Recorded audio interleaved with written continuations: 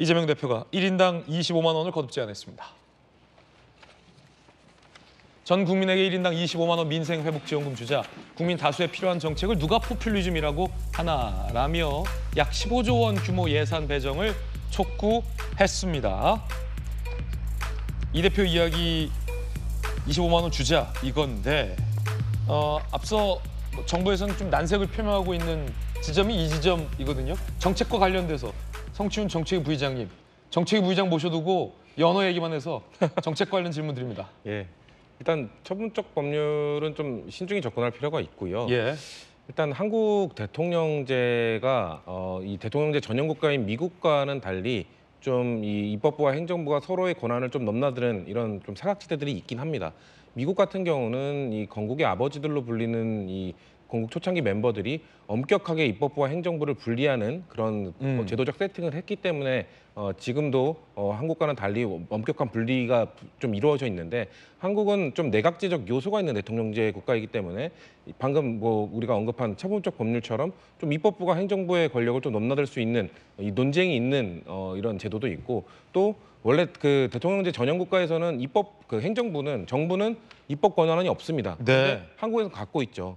그렇기 때문에 이런 거에 대한 좀 넘나드는 거에 대해서는 어, 제도적으로 어, 권력 구조 차원에서 논의할 문제이긴 한데 근데 지금 25만 원 이 지원금 문제와 관련돼서는 이재명 대표가 어떻게 보면 이 입법부의 다수당을 어 21대 국회에 이어서 22대 국회까지 이어서 어, 임명을 그 주권자들의 선택을 받은 것 아닙니까?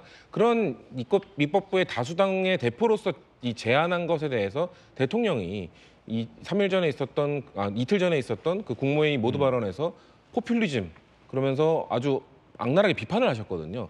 뭔가 입법부의 선택을 아니, 그러니까 주권자 선택을 받은 입법부의 다수당 대표가 말한 거에 대해서 아주 이런 방구도 없이 그냥 거절한 모습을 보였기 때문에 그런 차원에서 이재명 대표는 그거에 대해서 한 번 더 제안하는 것이지 예. 뭔가 이것을 행정부의 권한을 우리가 넘나들겠다. 뭐 넘어서겠다 이런 차원에서 얘기한 건 아니라고 봅니다. 그렇기 때문에 저는 대통령이 좀 전향적 태도를 보이, 보이고 이 총선에서 보인 민심의 심판에 대해서 좀 사과 좀더 좀 더 진정 어린 사과와 야당과 소통하겠다는 의지를 보이고 이 논의를 해야 어, 이, 아까 말씀드린 처분적 법률과 같은 좀 제도적 문제가 있을 수 있는 거에 대해서 민주당이 어, 다시 한 발 물러서고 어, 여당과 소통할 수 있는 기회가 마련되지 않을까 그렇게 보고 있습니다. 예, 그런가 하면 총선에서 거대 야당이 된 어, 야당의 강성 지지자들이 정청래 최고위원에게 분노를 했다고 합니다. 함께 보시죠. 지난 15일 당선자 워크숍에 참석, 조국혁신당 워크숍에 참석해서 강의를 진행한 정청래 의원. 슬기로운 의정 생활. 어, 이 이재명 대표 강성 지지자 입장에서는 왜 저당에 가서 연설하냐라는 게 불만사항. 민주당 수석 최고위원이 남의 당 가서 워크숍하냐 정무감 없다 해당 행위 아니냐 조국은 우리 당 아니다 라며 뭐 출당 시켜야 된다 정리해야 된다 청소해야 된다 이런 용어까지 사이트에 올렸다고 하는데 사이트 있습니까? 준비됐습니까? 준비 안 했습니까? 준비되시면 보여주시고 자 그러자 정청래 의원이 해명글을 올렸다고 합니다. 어, 입법 활동과 지역구 관리에 대한 내용 중심으로 강의했다. 여러분이 걱정할 오해할 내용은 없다 라고 해명까지 하고 있다고 합니다.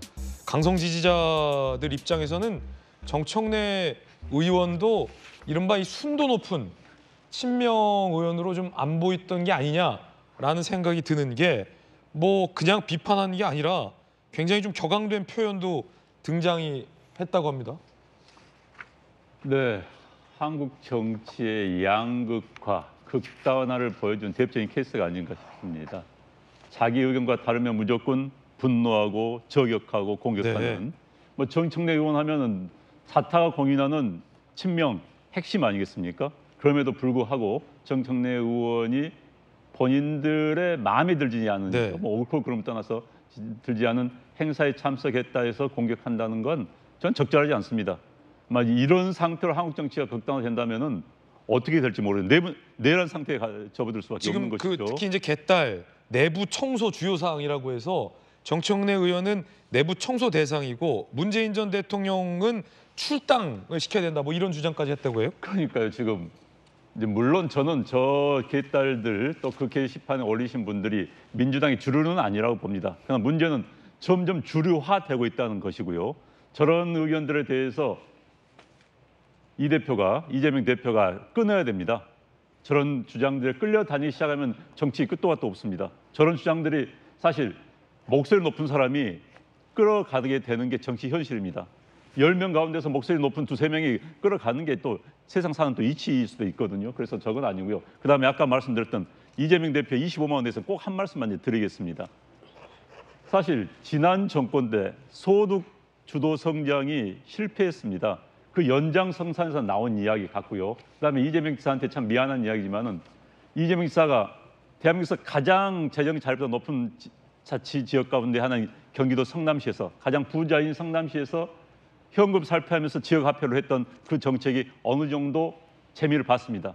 그걸 가지고 전 국민을 대상으로 하겠다? 이건 아니고요. 예. 아시겠지만 우리나라 지금 빚이 천조를 넘어섰습니다. 50 현재 국가 GDP의 50%를 넘어섰습니다. 네. 일 1인당 빚이 2천만 원이 넘습니다. 2,100만 원이 넘어요. 지금 이게 어디까지 갈지 모르는 상황에서 저- 저게 다 빚입니다. 13조라는 게. 근데 저게 문제가 저걸로 끝나겠습니까? 한 1인당 25만 원인데 왜 또 1인당 25만 원인지 음. 이왕 주려면 50만 원이지. 그러니까 논리, 논리적인 문제가 있고요.